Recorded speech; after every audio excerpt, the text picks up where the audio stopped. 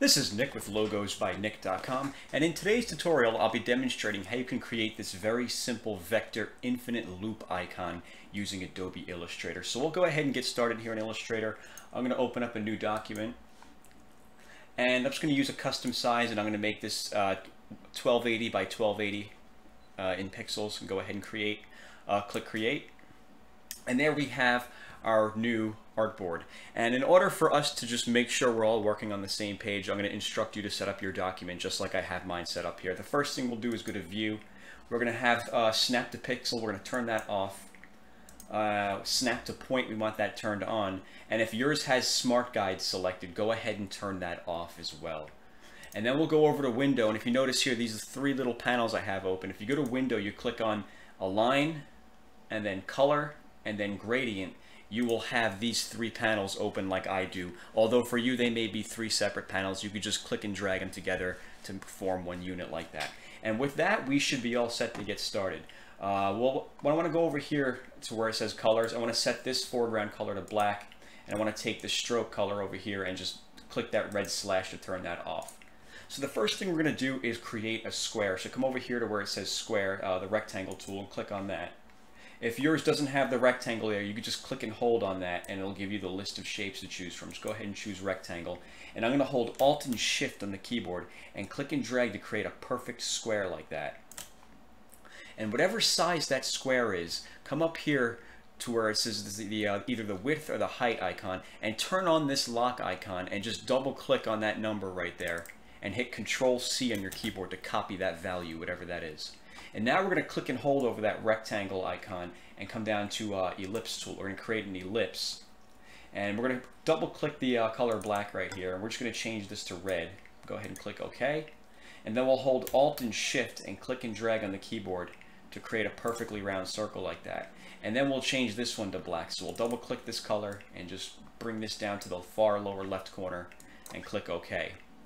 And we want to make this circle the same width and height that this square is. So we'll come over here to where it says width and just double click that and hit Control V on your keyboard to paste that in and hit enter.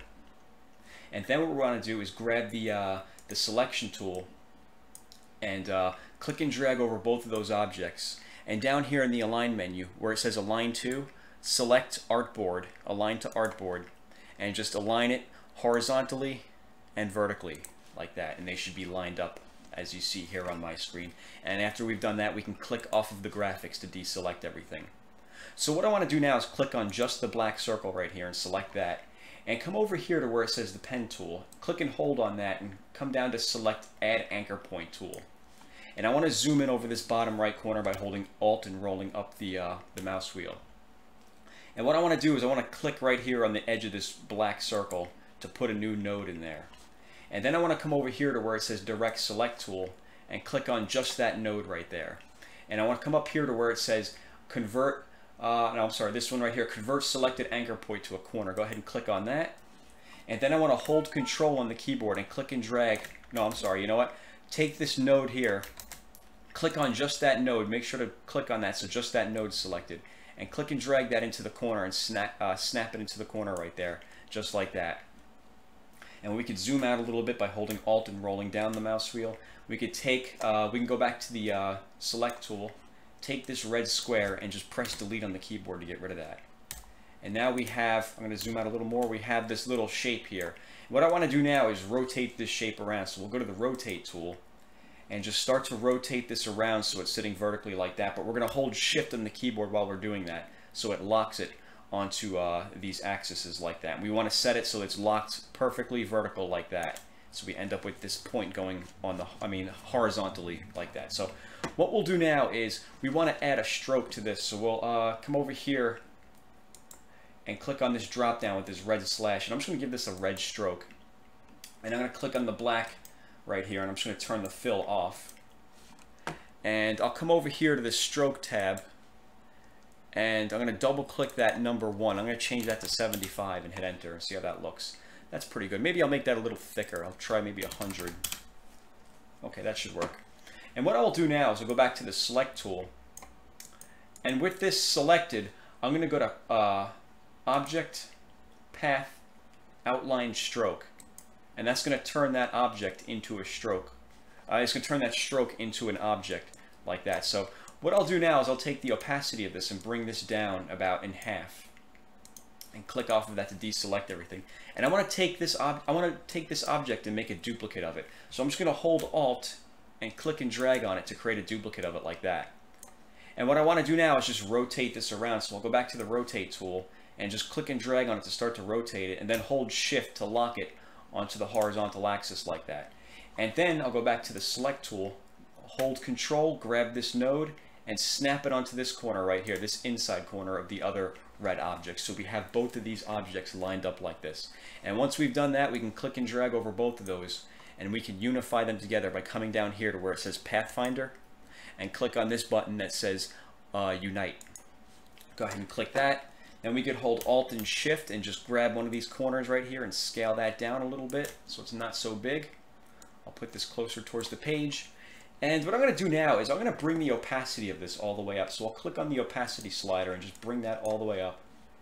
Click off of that to deselect everything. And I'm going to make this just a, I'm just going to make this a shade of light gray for now. So just double click that, that, drag this over to the left, choose like a shade of light gray. That's pretty good.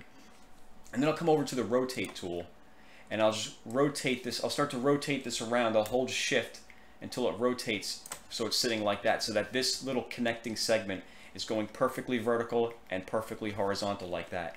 And then I want to hold Alt and roll up the mouse wheel to zoom in on the center of this object. And after we've rotated that around, what I want to do is grab the direct, uh, grab the select tool and just click off of the graphic to deselect everything. And then we'll come over here to the pen tool, hold, click and hold over the uh, direct select tool so it brings up this little flyout menu. Just grab the pen tool from that window right there.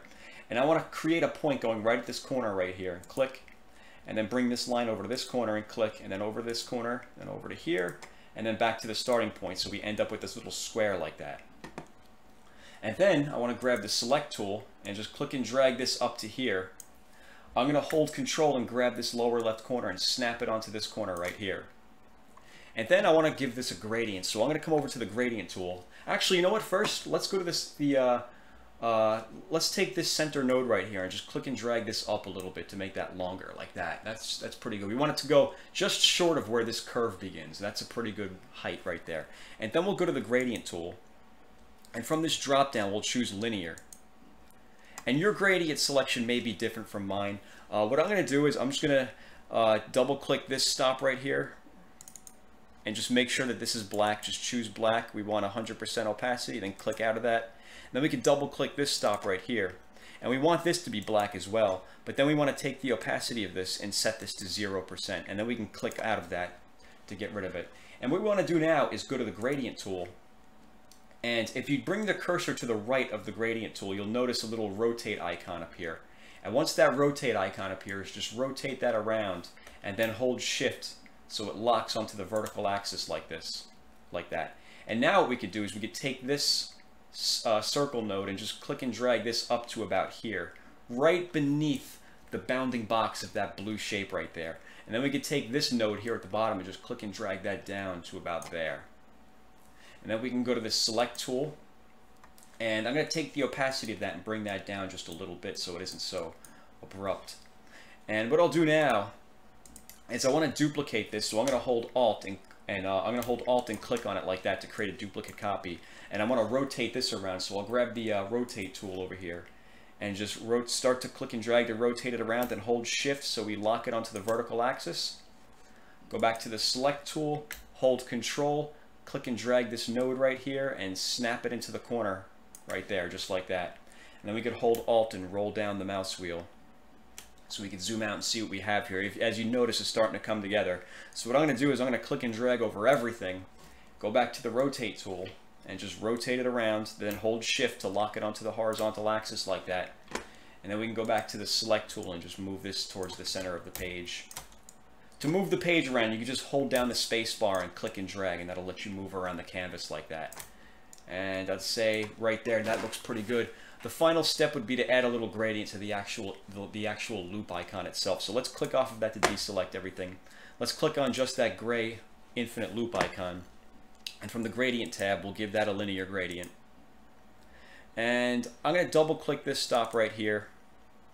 I'm going to make this uh, maybe like a uh, a gray on the darker end of the spectrum, maybe over here like that. Click out of that, and then double click this, and set this back to 100%, and then take this dropper and set it to maybe like a lighter gray, almost white, not quite white, but almost, maybe like that, and click out of it. And you might want to just go back and adjust this a little bit, so it isn't so, there we go, that looks pretty good. And what we could do now is take the uh, gradient tool, and again, bring the cursor to the outside of this square node until we get the rotate tool, the, the rotate icon, and then click and drag, and then hold shift to lock it so it runs parallel with the edge of this, uh, this leg of the uh, infinite loop icon right here. And then we can take this node and just bring that up, bring that up to about there. Take this node, bring that down a little closer to the graphic, bring this up a little more.